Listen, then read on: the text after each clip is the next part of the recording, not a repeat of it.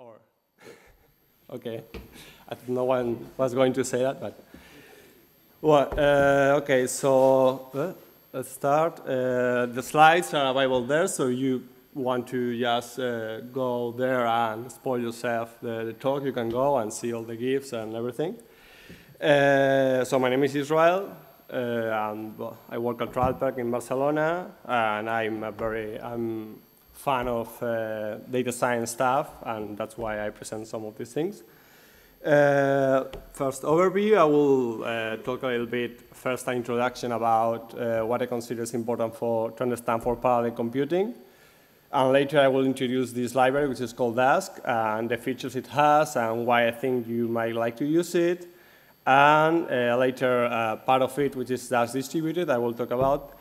And uh, I, didn't I didn't prepare examples because I, I believe that many times uh, they are hard to follow, and uh, I prefer to provide links to examples and tutorials you can follow, and you can easily look in uh, Google for uh, Dask examples or tutorials. So in 10 minutes, I cannot show you how to do everything. So I prefer just give links I think they're cool, and yes, you follow them. Uh, one important thing is, well, I, I really, I don't use this library in production or anything now in my job.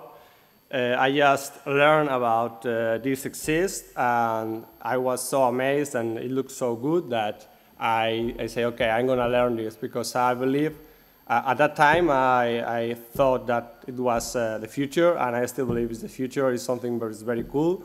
So I, I believe I have to tell the people about this, but I really, uh, if you ask me, how, what's the biggest data set you use this in production for, uh, I, I didn't. So I cannot tell you, but if you look in the internet, there are tons of examples where they use this, so uh, you, can, you can learn about that, but still you can ask questions, of course. Uh, well, so like I said first, uh, a bit of about parallel computing um, for some concepts and to understand what I'm going to talk about later. Um, well, uh, I, I put here uh, uh, parallel computing as uh, processing a long list of similar tasks. For example, imagine you want to, to sum a list of numbers, and this list is huge, it's very large. So you can do it two ways. You can just uh, use a very fast computer and try to go over all the numbers and get an accumulator and save it there. And this is very fast and very simple, one thread, okay?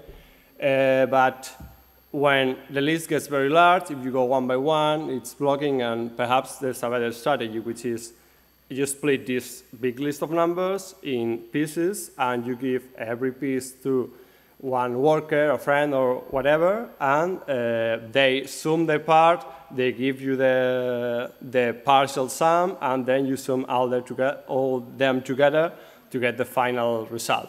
So uh, there's, a, there's a trade-off between these two approaches. One is very easy and fast, but it's not good for like large workloads.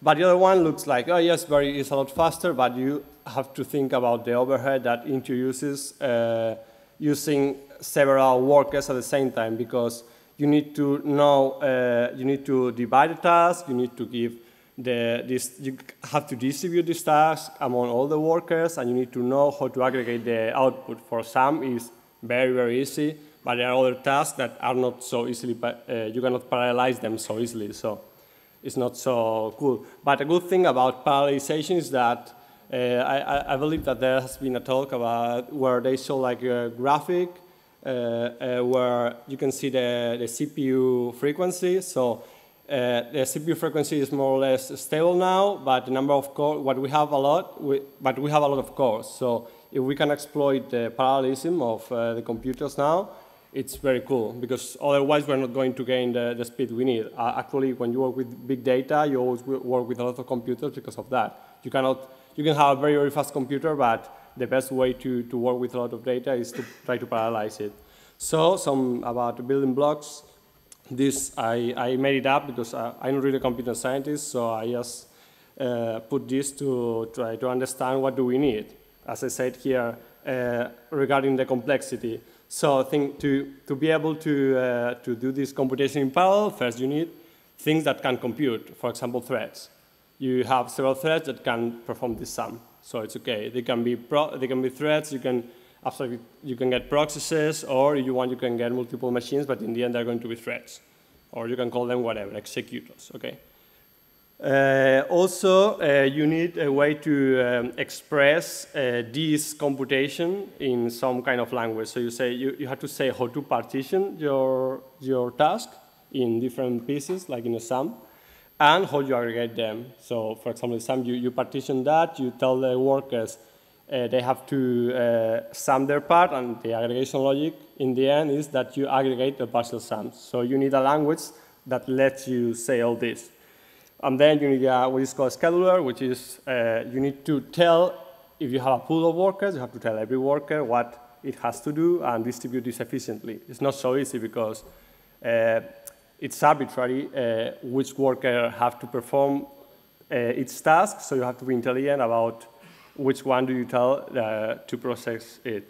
And also need a way to communicate between the the, for the workers to communicate between themselves and, and to, from the scheduler to communicate the task to the workers. Normally over the network or it's, if you have one machine, like have some tools to communicate the, these to the processes.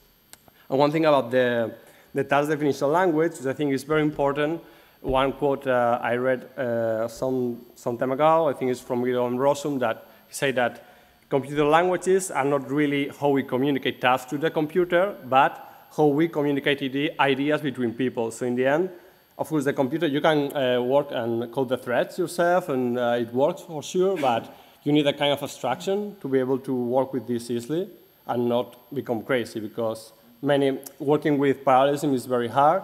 So if you get with a, you come up with a language where you can express this easily, it's much better. That's what I, why I think the distributed friendly task definition language is, is important. So uh, now what is Dask? You can read here is, uh, well, you can look on the, on the side, it's a Python library for parallel programming that leverages task scheduling. Scheduling is where, how do you distribute tasks to the worker for computational problems, which is more like analytical problems, the kind of uh, data problems you do. So you didn't understand this, this sentence, which is a bit hard, it's big data. Well, more or less. You can, in the end, you, you want to use Dask to work with uh, problems where you have uh, an amount of data that probably doesn't fit well into your computer, at least in main RAM. So you use that for, for this. Uh, okay, so well, th there are tons of uh, already a lot of uh, software for for working with big data uh, or medium data or whatever. Uh, so like Spark, Hadoop, and everything. There's a there's a site where you can look for uh, big data. You have to, choice, to choose between big data and Pokemon, and it's really hard. They, they put your name, and you have to say, this is a tool for big data, or is a Pokemon. And you fail many times. So there are tons of tools to work with big data. So why Dask? This is uh, something new, and why, why would they want to use Dask? Well, first, uh, I, I'm going to give the reasons why I believe it's really cool.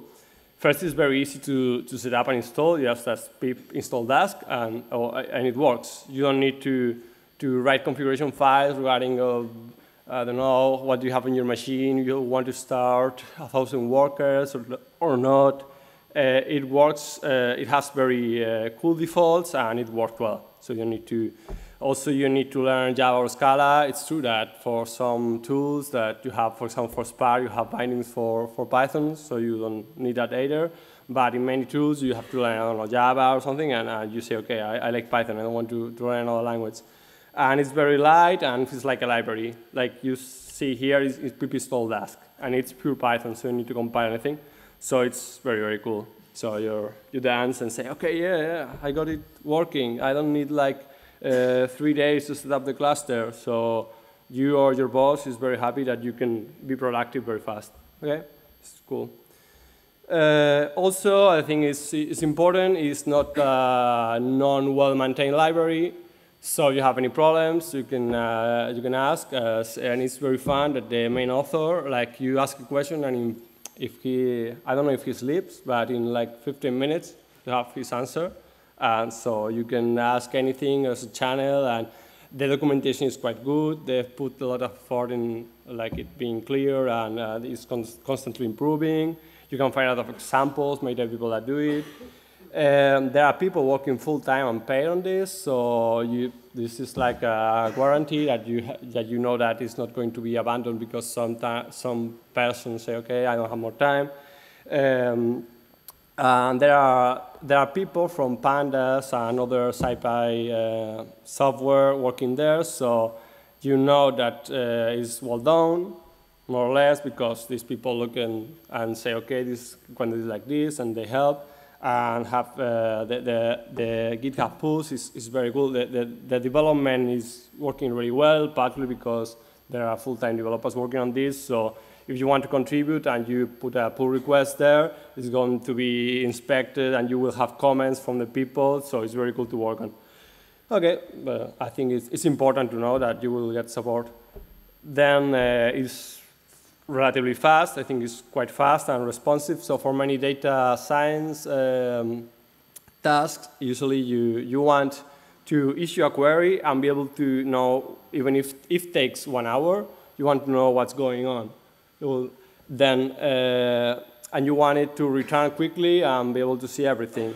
So you can use this for the, from the Jupyter notebook and you get like some, uh, I don't know, you, uh, it's not easy to see it here, but you get like a progress bars for all the tasks that are being processed. And you can get, uh, you, you, have inspection about the, the memory that is being used and how the, the different workers that, which are there the work is what are they processing and how long it's taking. So if, if there's something wrong, you, it's easy to see. Okay, so this is very important, is that uh, many of us, we don't work with uh, like big, a lot of terabytes of data, and we can, uh, we have a cluster, but we have, for example, I don't know, 15 gigabytes JSON, and we need to process it, or 15 gigabytes or 3 gigabytes CSV, and you cannot open this easily in your machine because it has a gigabytes of memory, and you want to, to, to you want to, uh, to analyze it, and you're not going to set up a cluster somewhere.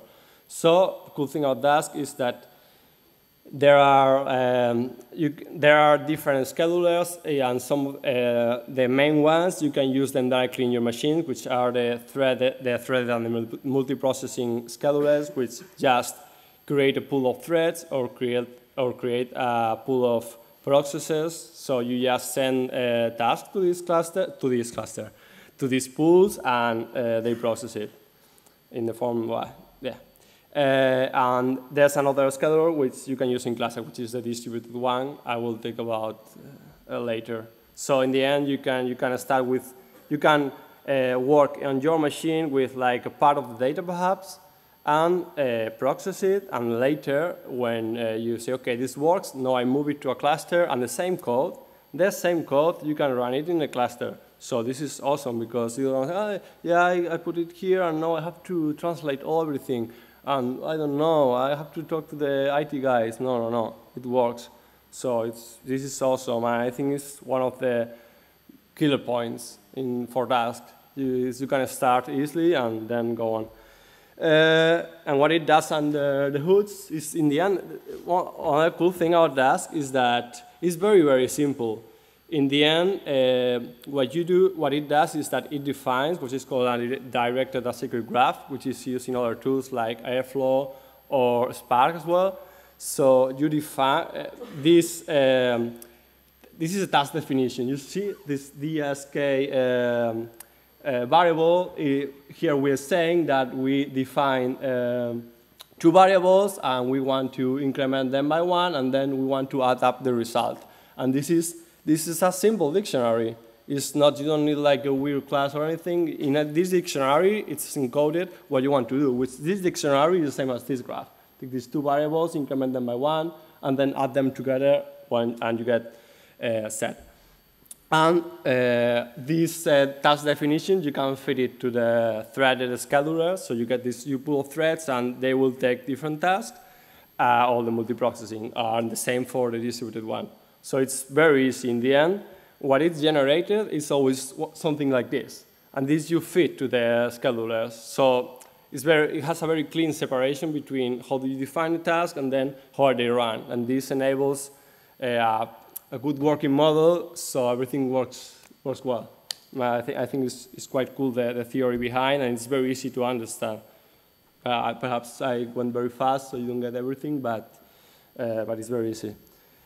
Uh, okay, so this is also a killer point. It's very important, which is familiar to use. You don't have to learn something. You have to learn something new, but it's very familiar to what you probably already use if you are pandas or you work with pandas or NumPy, right? So you don't have to. There are map and reduce functions, but normally you need to, to, to touch them, so you need to learn something new.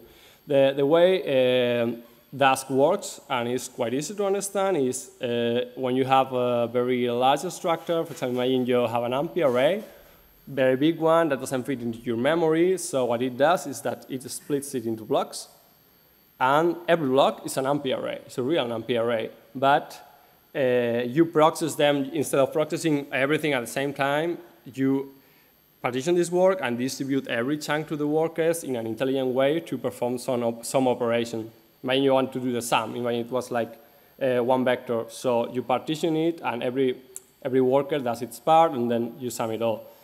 And well, this is for NumPy arrays, and for data frame, the splits are done regarding to the, to the index of the data frame. So it's, in the end, it's, it's very simple. You just break it in parts and, and uh, feed it to a scheduler, and it works. And it works, really.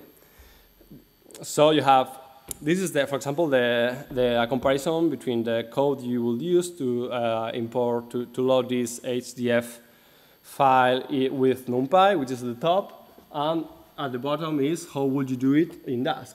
And you can see it's, it's not very different. You, you, you import from something from somewhere else, and then the only thing, the only extra things here are like you have to say the, how do you partition your, your array, I believe there might be some defaults that you can use, uh, but you can say, okay, uh, partition it in 1,000 by 1,000 chunks, and then the compute thing at the end. I will explain it later, so because uh, the operations are not executed right away.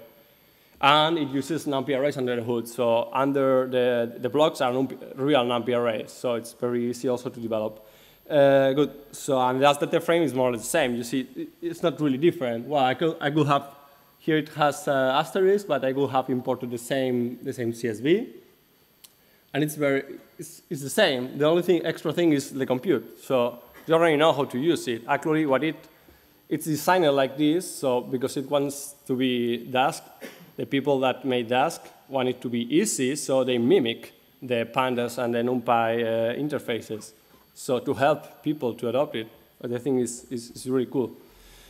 Uh, and there's another uh, kind of uh, collection-like uh, structure, which is the Dask Bag. So uh, it's this when you have, it's very useful when you want to process, for example, JSON. And it's like you can work over an iterator, and here, yes, it's similar to an RDD in Spark. And you can uh, apply like map and, and reduce functions to this, to this like list or iterator or RDD. And well, in the, in the two previous cases, uh, the default is the threaded scheduler because uh, the GIL in NumPy and Pandas is released, but here mostly you work with Lambda functions where, and in Python, you cannot, uh, in Python code, the, the GIL is not released, it's a global interpreter locker, so it uses the multiprocessing one.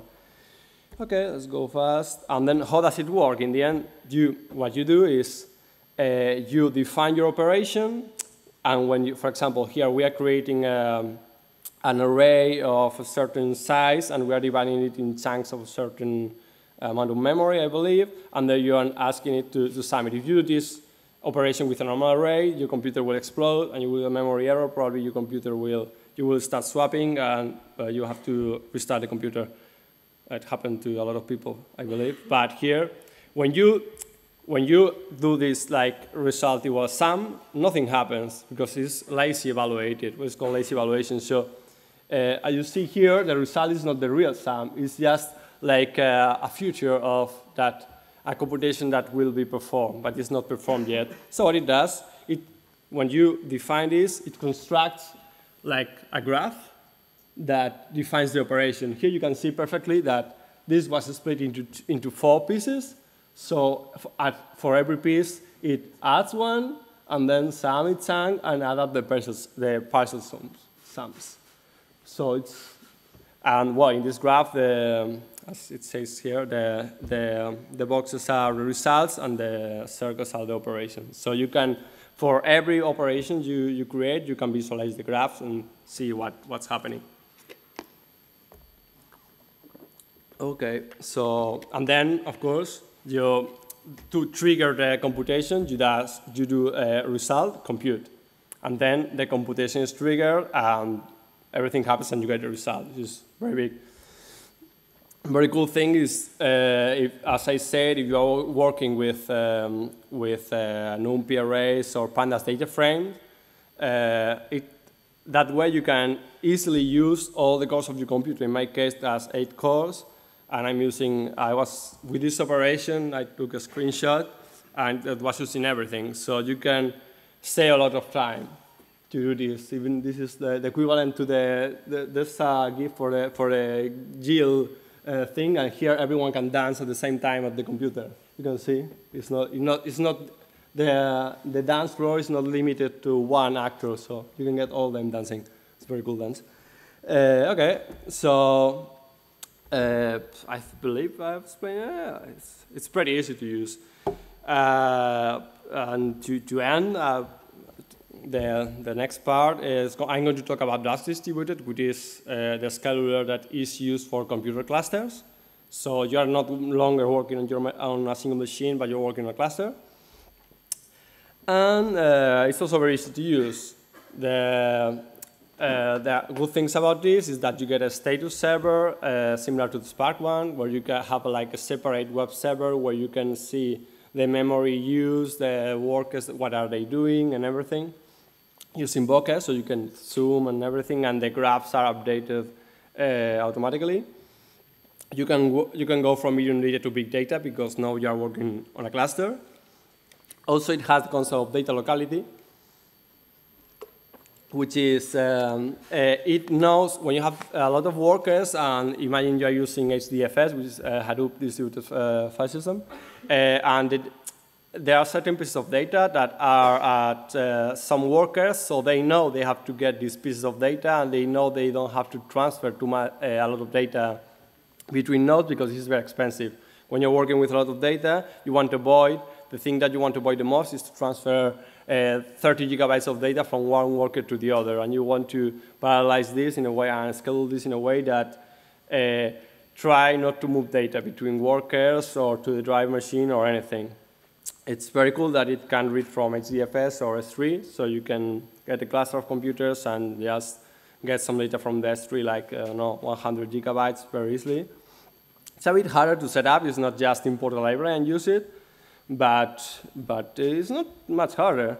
Here you see uh, the, the thing is that you install it, like with pip, the same, and you have to start uh, first a scheduler, which is the machine that distributes the work, and then on the other machines you want to uh, you want to the processing, you just do Dask worker, you start distributed of course, and you uh, uh, start another process pointing to the scheduler.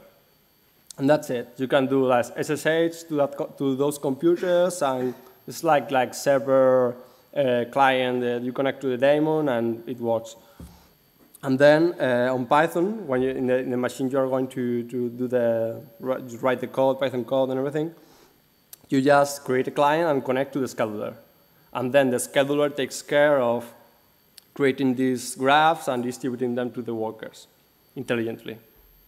You, and there are some deploy scripts. You can do it over SSH, as I said. There's a script for creating cluster in, in Amazon EC2, and there are some things that to not, not, not really official ones, but people that you can deploy this in a Yarn, Mesos cluster, uh, Kubernetes, and everything. So it's, it's, fairly easy. And the usage is, thing is, when you uh, create this, you are using this distributed scheduler. When you uh, create a client pointing to the scheduler, uh, it automatically uh, becomes the registered one. So every computation you do automatically gets distributed to the cluster. And this is the cool thing I said, you are, you are the same code that you did, now you change like uh, one line and you get it distributed to the, to the whole cluster. But there's, uh, so yeah, it's the same. When you say, well, you can do the compute, you can do the compute and it works. But also a very cool thing is that you can uh, send computations to the cluster and continue working. And uh, so instead, normally when you uh, start a computation, it blocks uh, until it returns. So you are like waiting for it to, to finish and then can continue. But with the distributed one, you can say, okay, I, I, I send this, you, you compute this, returns immediately, and you get a future, which is status pending, which is something that will be available in the future. You don't know how long will it take. And then if you, after this is a very fast operation, then, then you can check it when you want and say, okay, it's finished. So now I can, I can do things that with, with this, but you didn't get your uh, Jupyter notebook blocked. So you send it, you get, instead of the asterisk, you can continue working, do some other things, and you can even define operations that depend on the previous result that is not yet computed, but it's already being computed. So you say, okay, it's computing, so after I can continue, and I can depend on a result that will be available in the future. It's very cool. So, but, and then when we do that, that future and we want to get a result, if we do this, it will block until it gets uh, available. So it's, but it's, it's not really different. You can just block and do the same, or you can be more intelligent and say, okay, it takes one hour, but I want to continue, compute it, and I will continue with other thing. One very cool thing is that it has a job, if you have worked with uh, scikit-learn, um, uh, you know that you can say n uh, the number of processes you use for, for doing, for example, cross-validation. And normally you run this on one computer, but with this, it has a plugin for uh, joblib, which is the library uh, used to do the parallelization in, uh, in uh, scikit-learn, where you can just launch when you want, uh, I don't know, uh, you want to do the cross validation and it takes 30 minutes on your machine and you, okay, I want it to be 10 minutes. So you create a cluster and instead of doing it on your machine, you can work the same cross-validation with, within the cluster and the only thing you have to modify is this, this line, which is with parallel backend Dask distributed and the host of the scheduler. And then you run the fit and then predict or whatever. Well, not only the fit because it's a, a search, a grid search, and it works. So it's, it's very cool. As I said, it, they try for you to, they try that the workflow for a computer, for a data scientist, not to have to be modified a lot to use this. So this is, in my opinion, is extremely cool. Mm, well, uh, this uh, a comparison between Dask and Spark is always subjective to what I, what I see and what I've read. Just for, I think it's a good question to answer. Uh, in, on one hand, the Dask is, as I said, is just a library, pure Python. It's very easy to use. Uh, works in a single computer. Of course, you can use Spark in a single computer, but it's not so. It's not it's not thought to be used in a single computer. It has a lot of overhead to create the Java proxies and everything. with Dask, the overhead is pretty small, so you can run this very, very easily in a single computer. It's good for medium data. We have around 30 gigabytes of data. You don't really need a cluster. Uh, it works with uh, builds on existing libraries, so it uses pandas and NumPy and everything.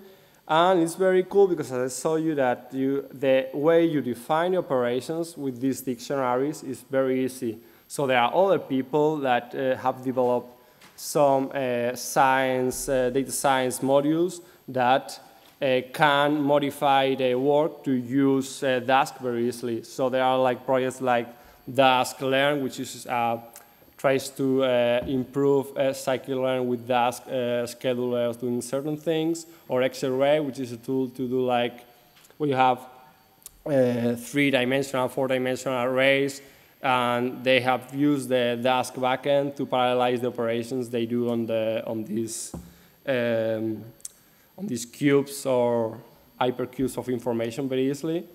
And on the other hand, Spark is, is a whole framework. You have to install it, it uh, has defaults and it runs, you can run it fast, but uh, it has a lot of tools. The, their own uh, machine learning library, for example, it has the JVM, which adds like text memory, and many times you need to serialize and deserialize information to pass between Java and, and Python. It's more thought for like cluster, for big, big data, something that, you know, terabytes of information, otherwise probably you shouldn't be using Spark. And since uh, I, have heard and I believe that it's harder for like a normal data scientist to, to write complex algorithms in that because uh, yeah, it's it's not Python directly. You're gonna say, okay, divide this in parts and then uh, com uh, combine it like this. So it's, in my opinion, it's a bit hard.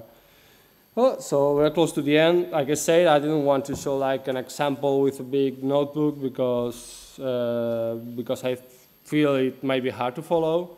So I put here some links. Of course, you can find your, your own ones. One very cool thing is that the main developer, Matthew Rocklin, has a blog where they write all the time about, about Dask, about the motivation be behind the decisions that the people made to build Dask, and cool things that they're adding. Um, and then what, and some other, um, some other examples, and some things that are not easy to find, like an interview about the project so you can learn about the difference between this and other projects like Airflow, Spark, or anything. Yeah, yes. uh, you can, as I said, you can access the presentation and, and find it. Finally, uh, great thanks to all the contributors. There, I think, like more than yeah, more than 60 people already contributed to the to the software. I just listed the top them. Uh, and also thanks to all the people that believe in the project and put money on it. Uh, main people that work on it work at Continuum Analytics, which is investing a lot of money in this for making it an open source product. And also some work from, some money from XDATA and some other foundations. So there are people that really believe in this. Uh, they're working hard on making this happen and can be able to compete with uh, something like Spark, but be easy to, to the data scientists. Uh, yeah, that's it. Thank you, thank you everyone, and thank you as well. So.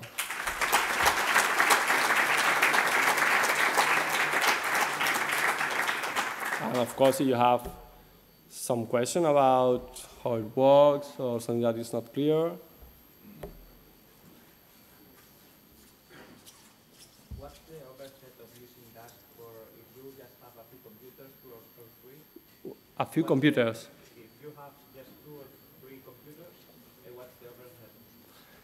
The overhead for the distributed scheduler, mm, mm, mm, you, I know that the overhead to work with uh, to, for every task that the scheduler adds is like half a, half a millisecond, which is very low, but of course you need to think on the latency that my, the latency between the, your computer to the scheduler and to the other workers. Once the, uh, the workers are on the schedulers, are communicated using raw sockets, using Tornado. And I've heard that uh, there are some, in the webpage about uh, distributed, there are some comparisons, uh, there are some, sorry, some benchmarks that show you the, how much does it take to, to process everything. But they have put a lot of focus on this to be very fast um, for, for analytical computations. So if we divide a big uh, NumPy array in many small parts and the scheduler takes a lot of overhead, it's shit because it will, it will take a lot and you, if you have one second for every task, it's no sense. So it will be very fast. I, I would say like the latency and then later the, the scheduler latency, which is very slow, very small one. So it should be very fast.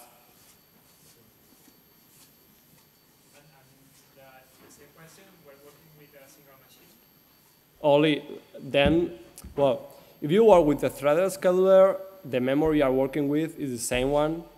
So you need to move uh, things around. So only extra thing is the scheduler and the extra step you have to do. For example, you want to sum and use the additions, then you have an extra step.